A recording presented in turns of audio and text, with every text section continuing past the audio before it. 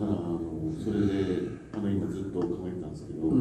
まあ、僕はどっちにしてもあの生まれてすぐにうん。一人称種創価学会だから、多種多問っていうのはあ。経験がないわけですなるほでも元からもうご本尊様が正しいっていう形で来てたので、どうん。ただそのうちのおふくろのじいさんが76歳で亡くなった時に、うん。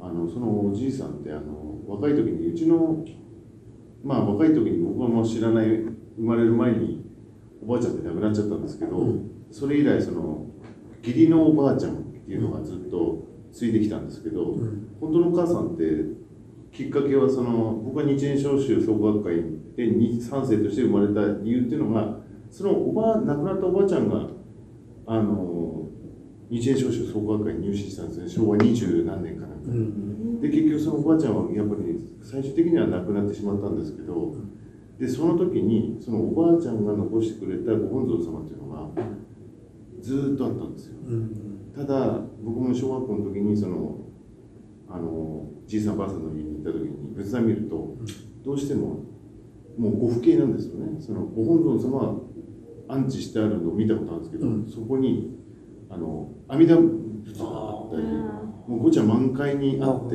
でその義理のお母さんあおばあちゃんっていうのは何にも分かんない人だから結局もううち檀家はあの一向宗だからと。うん。だからそこにお願いしてるからって言って、そこから、まあ、結局その本当のおばあちゃんを弔うためになぜか召集のうん。あのご本尊様があったり。でそのおじいさんは結局もう結局嫌いだったから結局自分の妻が亡くなっちゃったわけだから、うんなんだよっていう形で、うん。まあ召集からもう結局一時期は召集の信徒だったんですよ。うん。創価学会ですけど、うん。でも当時は正しかったんでで結局そのおじいちゃんは結局おばあちゃんが亡くなっちゃったということで、うん。まあ信じられなくなったんですよね、うん。ただあのどうしても戻すとかも結局おじいちゃんもあもう嫌って思ったら切っちゃうので多分そのゴンズもお返ししないままずっとご安置したうん。それでごちゃ満開。うん。でご不敬にしてる。うん。だから結局おじいちゃんも52歳の時に脳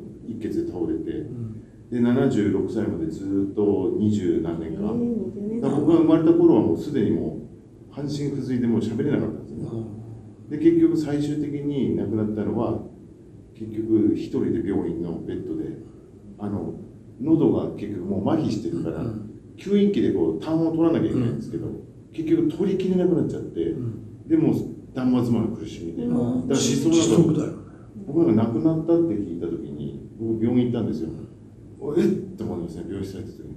もう顔剃っちゃったんですよこういうそれで顔はあの要はあの悪魔のこういうかゆいかゆい顔あるじゃないですか。そんな感じになってました。あだのあで色はのチラシのあのこういうああれ本当そうだよね。から色も茶色と黄色の間っていうあわか色してるわかてる。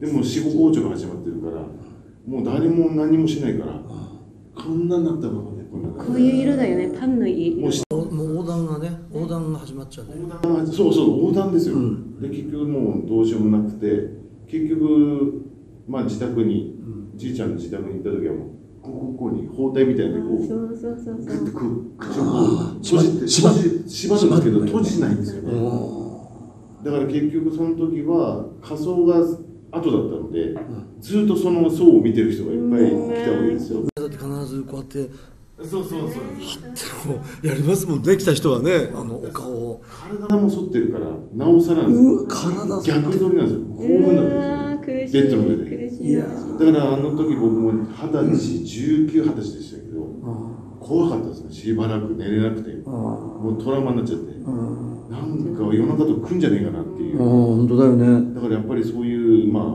お釈迦様大聖人様からすればうん。